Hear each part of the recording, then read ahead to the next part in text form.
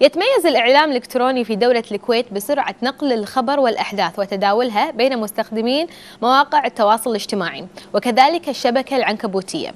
لكن يبقى هناك التزاما يجب أن يتحلى به نتيجة تداول أي قضية أو رأي أو تحليل. والحديث أكثر عن هذا الموضوع نرحب معاكم مشاهدينا بضيفنا الكريم عبد الرحمن الحزيم رئيس اللجنة الاجتماعية بالإعلام الإلكتروني. مساك الله بالخير عبد الرحمن. مساك الله بالخير أستاذ روان. حياكم الله. حياك الله. راح نتكلم عن موضوع جدا مهم عبد الرحمن خصوصا الحين ما في ما في بيت يخلي من شخص أو خلينا نقول أغلب الأشخاص الموجودين في المنزل يستخدمون أو متواجدين في مواقع التواصل الاجتماعي المختلفة. موضوعنا الحين هل ترى فعلا الإعلام الإلكتروني بدولة الكويت بدأ ينافس ويتحدى الإعلام التقليدي؟ أه بالطبع أستاذة روان. أه الإعلام الإلكتروني حاليا مو بس ينافس نقدر نقول إنه وصل إلى المرحلة الأولى أو المركز الأول. إنزين في الإعلام في مستوى على مستوى العالم مو بس الدولة على مستوى العالم. نعم. إي نعم. لكن يعني سبب إن أنت ثقتك في الموضوع تقول بدأ مو بس يت يعني إنه ينافس لكن يمكن وصل المراكز الأولى، شنو السبب؟ هل كثرة الناس اللي قاعد تستخدم هذه المواقع؟ سبب هذا النجاح. سرعة سرعة نقل الخبر. طبعا في المركز الأول سرعة نقل الخبر. نعم. إنزين السلاسة في نقل الخبر يعني في اللحظة على طول. يعني وين كنا أول وين صرنا الحين. ننتظر أول يوم كامل لين يوصلنا الخبر. الآن في نفس اللحظة. الواحد بمكانه يوصل الخبر على طول. إيه. لكن هذا مو ممكن إنه يأثر على مصداقية الخبر. يعني فجأة نشوف خبر نزل بهالمواقع أو في آه، بعض المواقع على الإنترنت تلقاها بعدين بعدها بكم ساعة يقول والله ينفونه إشاعة. آه طبعا كان الشيء هذا موجود قبل لا يتطبق قانون 8 على 2016 اللي هو؟ اللي هو قانون الإعلام الإلكتروني. بعد قانون الإعلام الإلكتروني أصبحت هناك مسؤولية. كل شخص مسؤول عن وسيلته الإعلامية لأن يكون هناك مسؤولية قانونية كاملة. فبدينا نلاحظ الدقة في نقل الخبر ونقل الخبر من مصادره الموثوقة. النسبة الأكبر طبعا. نعم. هناك يعني البعض ولكن النسبة الأكبر. لكن شوف حرص مثل ملاك المواقع الإلكترونية أو مستخدمين هذه المواقع فعلا قاعد يحرصون على صحة ودقة الخبر. آه، هل عندهم حس في تناول الخبر والقضية اللي راح يطرحونها؟ طبعا هناك يعني حس قانوني مو بس قانوني اجتماعي أدبي. الآن قانوني اجتماعي أدبي. نعم. لأن أصبحت وسائل الإعلام قبل يعني ما يخفيكم قبل كانت وسائل الإعلام غير معروفة. الآن معروفة لدى الجميع نعم. بالاسم بالشخص بالإدارة في نقل الخبر نعم. فالخبر يكون في مصداقية لكن إحنا بحكم مجتمعنا عبد الرحمن لا يعني ما على كثر هذا التفتح لكن يعتبر مجتمعنا عنده نوع من الخصوصية والتحرج في مناقشة بعض أنواع القضايا الحساسة. بالنسبة للإعلام الإلكتروني في دولة الكويت، هل تشوف إن هذا خدم إن يكون المجتمع أكثر تفتحا لمناقشة هذه القضايا الحساسة؟ بالنسبة أم لا, لا يزال في بالنسبة لنا كوننا اتحاد الإعلام الإلكتروني لدينا ميثاق شرف اللي هي من الناحية الأدبية من الناحية العرفية في مسائل ادبيا ما يجوز التطرق لها في مسائل قانونيا ما يجوز التطرق لها في مسائل ما تخدم أي شخص التطرق لها. مسائل تضر سياسة البلد الخارجية أو الداخلية طبعا ما يتم التطرق لها ابدا. نعم. لكن منو الرقيب؟ منو اللي يراقب الإعلام الإلكتروني هنا عندنا آه وزارة الإعلام إدارة النشر الإلكتروني. توقع هي المراقب الأول للصحف الإلكترونية. لكن شلون تقدر يعني مثلا آه، تحصر هذه الكمية من المواقع اللي قاعد تطلع بشكل يومي؟ يمكن نلقى بدال الموقع يمكن عشر مواقع. أنا أتكلم عن المواقع المرخصة. وليست المواقع اللي هي بدون ترخيص أو جهة غير معلومة أو جهة خارجية تبث من برا. إحنا نتكلم عن موضوع الشيء المرخص فقط اللي هو خاضع لقانون 8 2016 قانون تنظيم الإعلام الإلكتروني.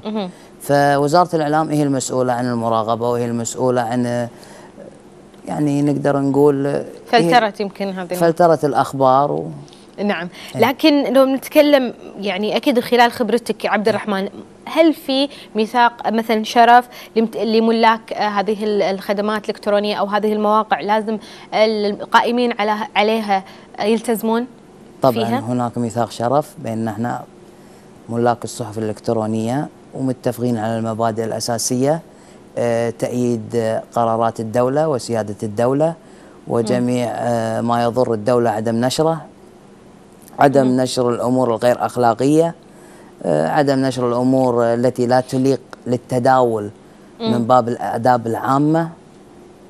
نعم. عدم التعرض إلى الذات الإلهية والذات الأميرية وعدم التعرض إلى مقام سيدي سمو ولي العهد. نعم يعني في عدة أمور الكل ت- نوعا ما المفروض أو بشكل كبير لازم يلتزم فيها. نعم. لكن لا يخلو الموضوع أكيد عبد الرحمن من بعض آه، في ضعفاء النفوس أو في من يستخدم هذه المواقع بطريقة يعني سيئة سواء إن مثلا لترويج لخبر, خاطئ أو إشاعة أو الهجوم على أشخاص معينين. شلون طريقة التعامل مع هذول مع الأشخاص هذه؟ آه، بالنسبة حنا لنا كوننا وقعنا على ميثاق الشرف عدم التطرق إلى الأمور هذه. ولكن من يتطرق لها؟ أتوقع أن هناك قانون ينظم العملية وتجوز المساءلة له ويتحمل خطأه. نعم. لأنها ليست من الباب الآداب العامة أبدا. نعم. أبدا. إيه، لكن إحنا شفنا يمكن البعض آه، خذ الموضوع بطريقة شخصية بدأ مثلا آه، يعني يطبق بعض ال- الأجندات اللي عنده قاعد يضرب شخوص ومؤسسات حكومية في بعض الأمور إنه يتداول حتى أخبار ما هي صحيحة أصلا وقاعد. تكون إشاعة وقاعد تسبب آه، يعني قلق ونشوف ناس قاعد تتداولها. إذا افتقده للمهنية.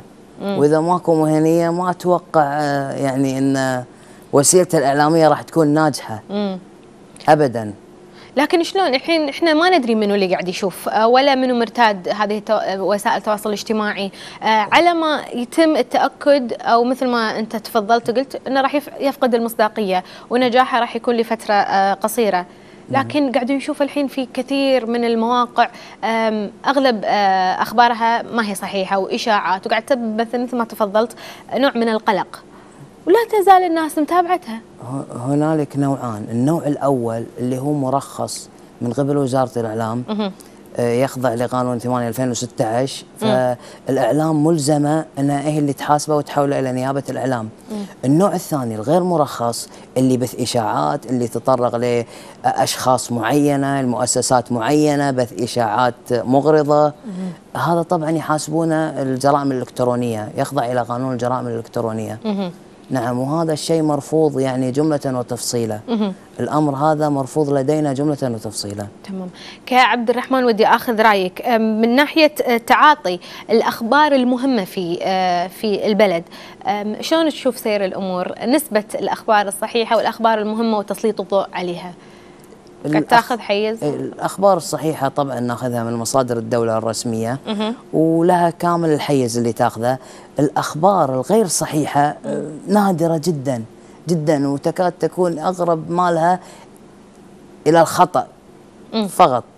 تكون أخطاء هنالك. أما أنها مقصودة الحمد لله ما قاعد نشوف الشيء لكن. أنتم مثلا إذا آه، سمعتوا بخبر ويت... وعندكم أنتم المصدر الصحيح لهذه لهذا الخبر وإن شفتوا إن الناس قاعدة تتفاعل مع إشاعة أو خبر ما هو صحيح.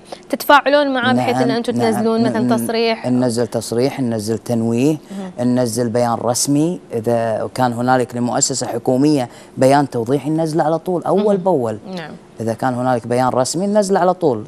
تحرصون إن أنتم توعون الناس بما إن هذا يعني آه، عالم التكنولوجيا يعني بشكل سريع. آه، وانتشرت كل هذه الوسائل آه، بين إيدنا بوقت جدا قصير. يمكن البعض ما هو عارف يستخدمها بطريقة صحيحة. هل من جانب من من عملكم أن تحرصون إن توعون الناس بطريقة تقصي للخبر تأكد من صحته عدم تداول الإشاعات مثلا؟ يعني تأخذون هالجانب في الخدمة المجتمعية؟ نحرص على ذلك. طبعا نحرص على تجنب الأخبار الكاذبة والتوعية والإرشاد فيما يفيد للمصلحه العامة. مهم.